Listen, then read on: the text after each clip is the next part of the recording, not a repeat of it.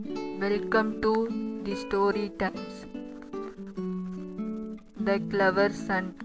Tales from ஜட்டாக்கா புத்திசாலி மகன் வெகு தொலைவில் இருந்த கிராமம் ஒன்றில் ஒரு நாள் காலை விவசாயியான ரவி தன்னுடைய தந்தை மாட்டு வண்டியில் ஏறுவதற்கு உதவி செய்தார் அந்த சமயம் பார்த்து அவரது மகன் விவேக் அவர்களை நோக்கி ஓடி வந்தான் அப்பா தாத்தாவை எங்கே அழைத்து செல்கிறாய்? என்று விவேக் கேட்டான்.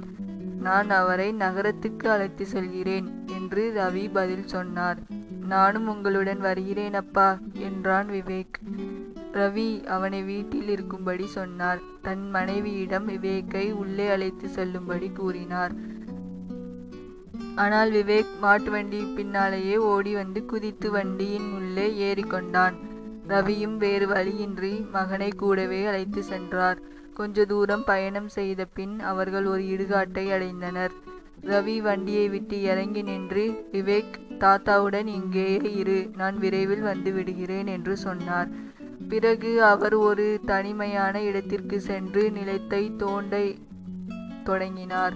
சற்று நேரத்திற்கு பிறகு பொறுமை இழந்த விவேக் தந்தையை தேடி சென்றான். தந்தையை கண்டதும் என்ன செய்து கொண்டிருக்கிறீர்கள் அப்பா? என்று கேட்டான். நான் குழி தோண்டி கொண்டிருக்கிறேன். நீ ஏன் இங்கு வந்தாய்? உன்னை தாத்தாவிடம் தானே இருக்க சொன்னேன் என்று கோபத்துடன் ரவி சொன்னார். விவேக் விடவில்லை. எதற்காக குழி தோண்டுகிறாயப்பா என்று கேட்டான். ரவிக்கு உண்மதை உண்மையை சொல்வதை தவிர வேறு வழியில்லை என்று தோன்றியது.